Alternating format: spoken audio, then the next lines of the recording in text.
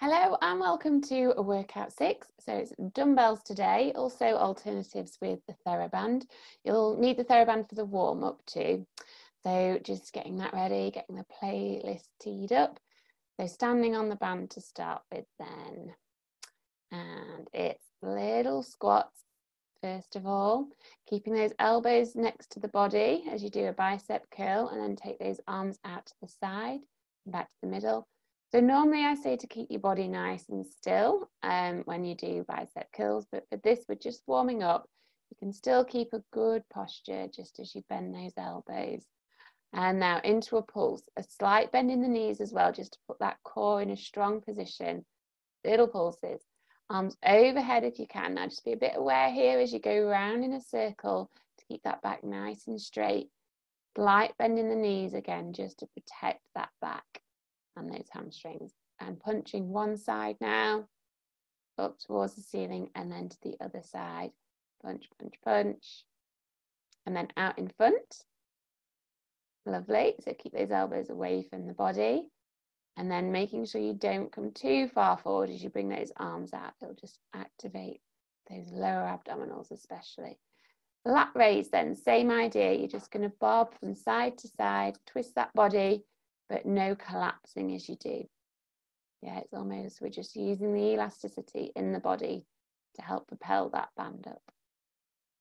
Little pulses, lat raise pulses, squeezing those shoulder blades together, bend those knees so you don't um, arch the spine, and down and round again. So just taking your time and then back around the other way. And then shoulder press good. Just not forcing it if you're not able to go the full extension, often depends on strength of the bands. Now out to the side, out to the middle, out to the side. You're just going to keep rotating around those movements. Great stuff. Okay, and release the band. And now into a chest open. That's it, little pulses. Band pull apart, squeezing that pencil between the shoulder blades, tucking that tailbone under, gentle bend in the knees. Okay, squatting down a little bit now as you come round. Good, so just enjoying the stretch and the opening that you feel, especially in that upper body now. And doing our press to one side, straight up and press to the other side. Fantastic. Lunging now, so making sure if you're lunging forward with your left, you twist over that top that leg, so you twist the left as well. Same for the right. Up in the middle, making sure that you're not lunging too far forward, just going as deep as what you can control. Well done. Good stuff. Okay, so straight in then, five times, 60 seconds on, 30 seconds rest. Um, yeah, pop that random playlist on now if you want, or use your own music. Just a demo to start with here then. So just a little word, if you do have a bad knee at all, obviously there's the option too, but you can also just do the lunge without having your foot up on the chair behind you. It just puts that little bit more strain through both the front and the back leg once you have that, um, that foot up on the chair. So about ready to start now, guys, getting in position. Off we go. A minute on each side. So keep making sure that that chest stays nice and proud. When you lunge, you're going to lunge down and back and just keep that knee in line with the toes. With the um, calf raise on option two, it's also all about balance as well. Um, just going as high as you can in that supporting leg. And then here, this is just to show you how it's important to keep the knee in line with the foot in option one there. Otherwise, keep going, guys. Got 20 seconds to go. Yeah, so making sure that as you tire that you don't collapse too quickly in the foot on option two. Controlled. Last five seconds. Okay, and rest. So we're all going to do the same one here now. There's no knee bending involved. You Can do this one with a band, but otherwise, if you have some light dumbbells, mainly about shoulder posture. Okay, so there's three elements to it. There's the twist forward in the middle, press overhead. And then there's a nice open bicep curl. So as ever, there is a temptation when you do overhead stuff just to um, arch the back. We're going to make sure that you try and stay as strong as we can in that pelvis as you just rotate around, strengthening those shoulders, that upper body posture. So often we get closed off in the upper body due to our sedentary computer tablety, screeny lifestyles. Um, but this will just help to reverse that. I used to get some pain in my upper back, particularly after cooking, whereas doing exercises like this just strengthen the area up and it's it's absolutely fine now. So nearly there, guys. 20 more seconds to go. Keep pressing light well, in your posture, not light on your feet. Head stays in line with the spine. Good, hopefully really feeling it between those shoulder blades and rest. Okay, so the next one then we're going to go back to the dumbbell lunges again. Other leg this time. Hopefully you've remembered which one. I often um, get a bit muddled up because the back leg works very hard here as well. So it might kind of feel like, oh, you know, the back leg worked harder. You assumed it was at the front, but it wasn't. Um, anyway, hopefully you've remembered just from what it looked like as well as felt like. Okay, so lunges or the calf raises, obviously. Just noticing any differences, maybe from the first side as well. Yeah, any instability or flexibility issues in the hip, obviously strength as well, thinking about that. Making sure you have that good alignment especially tempting on the lunge to move forward in that torso as I say, just thinking about lunging down and back rather than forward. And then lovely little calf raises there as well. Nice and controlled. It's mainly about going fast on the way up and then slow on the way down. Keep going, last five seconds. Two, one, and rest. Lovely. Okay, we're going to do leg lowers now. Um, so this gets really quite intense when you have that weight between your legs. So it's good to give it a go if you do have a small dumbbell like that. It's not really an alternative with the band if you wrap it around your feet because it actually makes it a lot easier having the band. It almost helps you. So either do it with a weight or just do it with body weight for this one. Um, so as straight as you can with those legs, obviously bend them if you feel like your lower back is moving. So if you can, just sandwich your lower back against the mat and try to keep that as your like guide. Um, if, if you have a, a bit of an arch in your lower back, just make sure that you don't arch it anymore as you lower those legs down. This is good, really good, especially for those lower abdominals, which are the main important ones when it comes to posture. You can push down into the floor with your hands just to help stable, stabilize a little bit, especially if you have a weight in your legs. Quite often it almost imbalances you and, and brings the upper body off the floor, but just resisting that with the hands.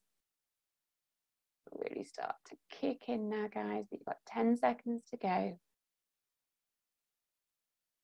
Controlled lowers really overloading those abs and rest. Fantastic work. Okay, so last exercise coming up now. Takes a little bit of setup this one, but it's where you put your shoulders on a chair or on a bed or on a sofa, and then you're going to extend a weight overhead. Again, difficult to find an alternative here with a band, but just any heavy object that you have. And as you extend those arms overhead, you extend one leg and then the other leg. So just get comfortable on your seat of choice or bed of choice. and then extending over. So just making sure that not all of the upper body is on that supporting surface. Yeah, because we want to really encourage you to use your glutes and use your lower abdominals to hold that body up. Just adjusting and then taking your time as you lift, trying to aim for that straight line. It may well be tricky for the balance, especially to start with. And this is one where you really will notice a difference from one side to the other, potentially, if you, like me, are imbalanced. But it's a good one for ironing out those imbalances as well. Keep going, squeezing those glutes, protecting that lower back, and rest. Well done. So I do recommend that you can go back through that maybe two or three times. You can also do it where you just do 30 seconds on each and then um, just skip the recovery. Um, so yeah, into plyos though. So this is where it's nice and bouncy off the ground. So we're working on developing the foot strength, also posture, but just an awareness of the energy now, guys. Okay, so um, just bouncing nice and light, just swinging those arms. I've just shown you bad posture here, just so you can notice the difference when you have poor posture as opposed to being in that position to use that elasticity. So tap from side to side. Now imagine you're stepping over a hurdle in the middle of the mat. Good, step and tap. So you can do your own version of this, guys, as well, but the principles are just strong feet, nice and bouncy, good alignment. So here I'm closing my eyes just so I can really get a feel for the energy and that uh, that nice rebound off the floor. Just loosen those shoulders as well. You're just going to come and lift alternate knees now. Keep going, keep going, keep flowing. Well done, nice and bouncy. Just relaxed arms, letting go of that tension. Okay, now we're going to imagine you've got little hurdles on the floor and you're just jumping over those hurdles. Big bounce, little bounce, just rebounding. Well done, using those arms to help as well. Little bounce, big bounce down those mats. Okay, this is uh, one of my favorite dance moves. so cross in the middle and then open out to one side. It's just a really nice one to sort of feel for that almost elastic thread as you're just bouncing from one side to the other. Well done, well done. No, use that on the dance floor, rent free. right. Um, stretching out your calves. Good, keeping both feet facing forward.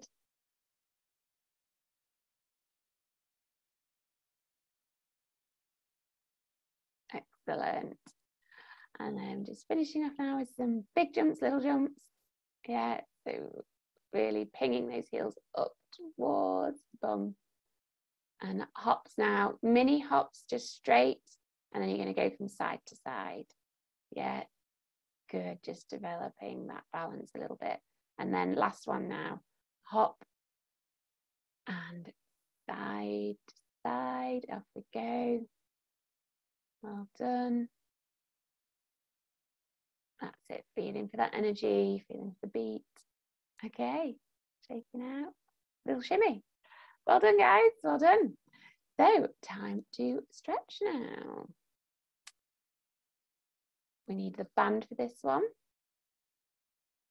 And I'll just do the explanation as well. The band, band is stretch track. um, just a, a warning as we move in here, which if you have any problems or you feel it twisting excessively when you do this, then just do an alternative. So basically we're going to this position here and then just slide back. But, but like I say, only do it, do it if you feel comfortable doing it. Otherwise, the alternative is just to go feet together like that, like that, like that. Just sort of, just sort of relax, relax. Okay, okay.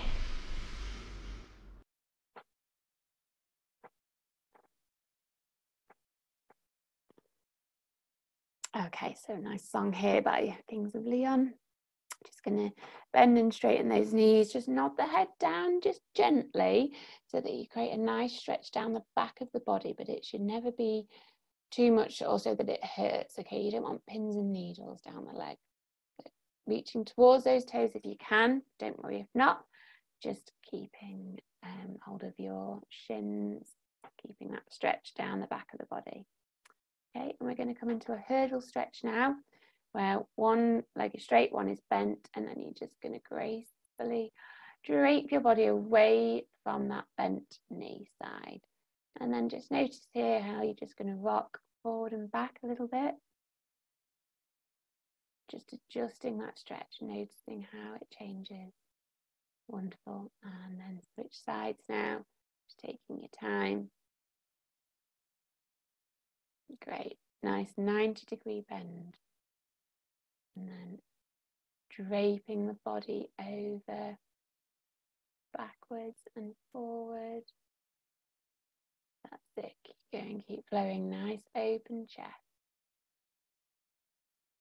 Fantastic. Good, good, good. Okay, so this is where we do the challenging stretch if you can with those knees, but other than, otherwise just feet together as you lay back. Very difficult to get the back on the floor as you do this, but it's still a really good stretch if you're doing this version to get into those hip flexors. Holding here now, there's a lot of holds in this stretch track, and then releasing. This is where you grab your band. You're going to wrap it around one foot. You might want to do it double, depending on the strength of your band. It just helps to add a bit of an extra stretch without you having to pull more yourself. So ideally, if you're a runner, you want to aim for 90 degrees in those legs, or just maybe slightly more. Just going to do little gentle pulls towards you again, a stretch should never hurt though, guys. So just take your time. Circling that ankle then now as well. Might notice it's a bit tight down the side of the shins there. And then just taking that leg across the body and looking away from the legs so that you create a nice twist through that spine. Just adjusting the movement so that you can get most relaxed in this position to encourage the spine to let go and open. Band around both feet now, and you're just going to take them overhead. You get an extra stretch down through the back of the body into those nerves, into those muscles. Little gentle rocks in this position as well. And now, just releasing. You're going to do the stretch on the other hamstring now So it's just nice and straight to start with, just with gentle, gentle opens as you pull and release that leg. Circling the ankle again. Noticing how much you need to do this more. well done. And then taking the leg across the body, arm out to the side, look towards that hand. Create that lovely stretch. So if you can keep that sense of the 90 degrees in those legs, that's great. But if you need to reduce the angle, then that's also fine. Trying to keep both shoulders on the floor. Okay, band back around those feet. This time you're going to come into the frog stretch. So yeah, the band's not doing an awful lot here, but it just helps to bring those feet a bit closer to the bum as you then butterfly those knees out. Now you're just going to pull them off the floor and create a little bit of a sense of opening in those hips. Okay, and then again, releasing that band, stretching long, rolling onto your front now. Going to finish off just with a little bit of a cobra, which is where we're going to open the front of the body, looking up towards the ceiling. You can do this on your elbows if it's too much to do it on your hands and then rocking gently from side to side. You might also feel this in your hips a little bit. Shouldn't feel it too much in the lower back. Now reach those feet towards the head. I used to be able to get my feet to my head. a bit depressing now, I'm so far away, but it's fine. Anyway, twisting feet in and out, in and out. Yeah, and coming back into child for those last few beats. So just reversing that deep spine stretch now. Little rocks from side to side. Forehead on the mat. And hold hold that position there for a bit longer if you want, but otherwise, well done, guys. You made it to the end. Great workout. I hope you enjoyed it.